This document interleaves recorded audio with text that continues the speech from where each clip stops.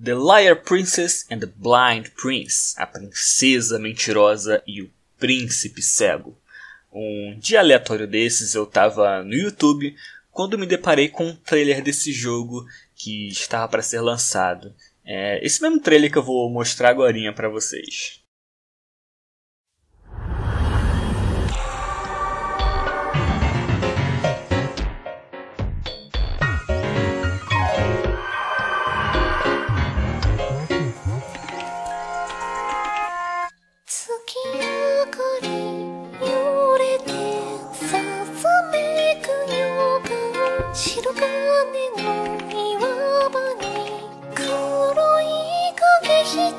啊。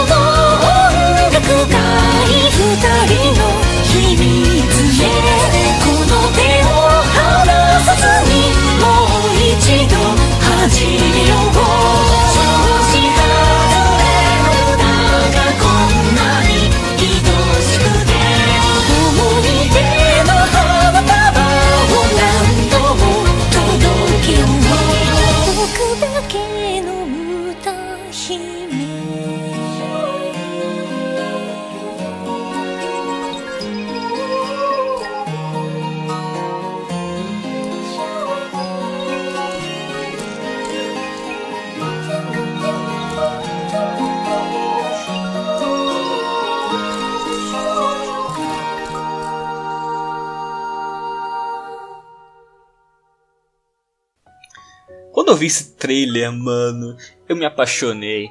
Eu achei incrível, com uma estética muito diferente do que a gente está acostumado.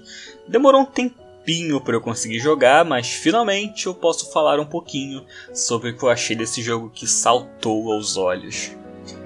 The Lion Princess and the Blind Prince é um jogo de puzzle, ação e aventura em 2D desenvolvido e publicado pela Nippon Ichi Software para PlayStation 4, PlayStation Vita e Nintendo Switch. O grande chamariz do jogo é o seu gráfico, que é absolutamente lindo.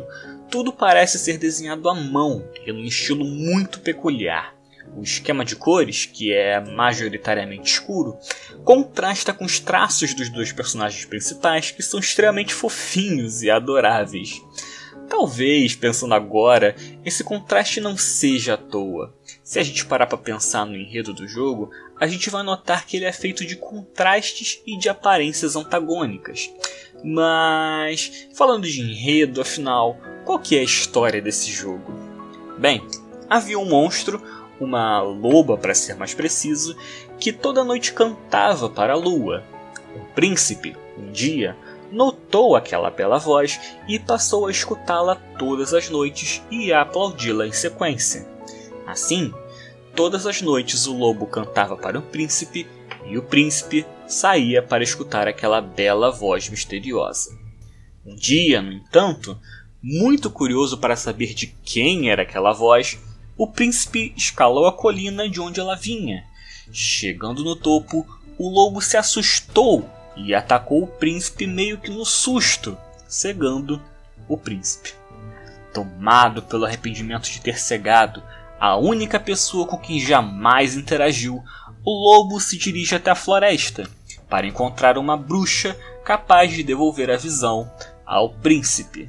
Mais do que isso, ela precisava ser capaz de se disfarçar, já que o príncipe não poderia descobrir que ela, na verdade, era um monstro. A bruxa, então, lhe dá a capacidade de se transformar numa princesa, sempre que precisa para que possa segurar a mão do príncipe e levá-lo até a bruxa no meio da floresta. E como é que esse jogo funciona? Você controla a princesa e pode se transformar em lobo a qualquer momento. Pode andar e pular também.